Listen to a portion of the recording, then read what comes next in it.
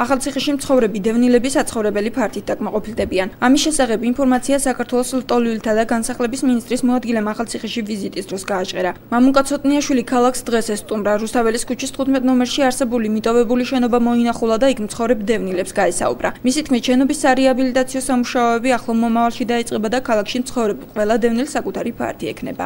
იწყებთ მოცემულ ობიექტზე რუსთაველის 15 მისამართზე დევნილთა დასაკმაყოფილებლად სარეაბილიტაციო სამუშაოებს ალბათ ეს უკვე სულ ახლოში დაიწყება და დაახლოებით 60 ოჯახი დაკმაყოფილდება საცხოვრებელი ფართით რეაბილიტაციის შემდგომ.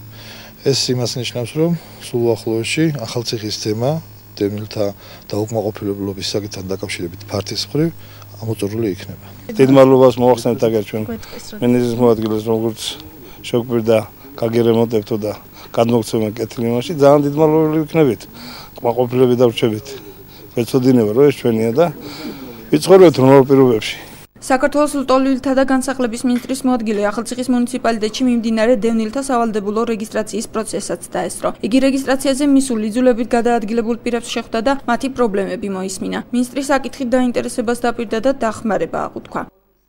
მე ვარ კოთხანჯიადელა ვარ აფხაზეთიდან დევნილი და ვცხოვრობ ახალციხეში ამჟამად. ძველი სანებით სადგურის შენობაში შეხვდი ministris მოადგილეს და მითხრა რომ დაგიკანონე გავაკეთებთ ყველაფერს რომ ეგ ფართი დაგიკანონდეთო. რა ვიცი დიდი იმედი მაქვს რომ ჩემ მოთხოვნა შეასრულებენ.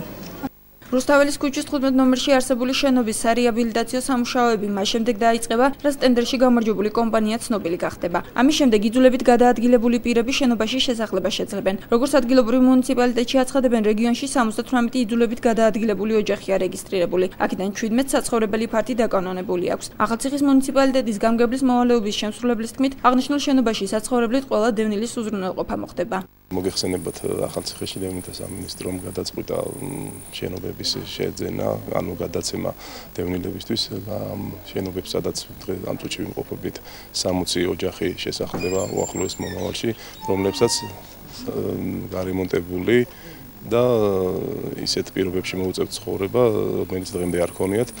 საკმარისად დიდი პროექტია, რომელიც უნდა განხორციელდეს. ოკუპირებული ტერიტორიებიდან იძულებით გადაადგილებულ პირთა რეგისტრაცია ქვეყნის მასშტაბით 1 აგვისტოს დაიწყო და 27 დეკემბრამდე გაგრძელდება. ახალციხის მუნიციპალიტეტში იგი პროცესი 2 ოქტომბრის ჩათვლით ადმინისტრაციულ შენობაში იწარმოებს. ლტოლვილთა და განსახლების სამინისტროს ინფორმაციით იმ პირებს, რომლებიც აღნიშნულ ვადაში დარეგისტრირებას ვერ მოახერხებენ, დევნილთა სტატუსი და შემწეობა შეუჩერდებათ.